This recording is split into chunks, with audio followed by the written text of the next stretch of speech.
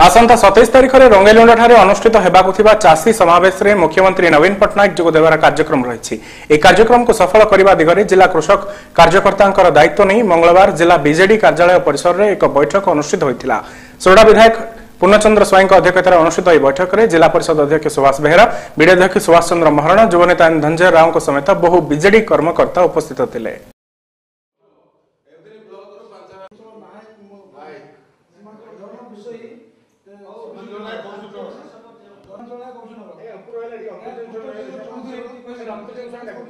Shankar Narayan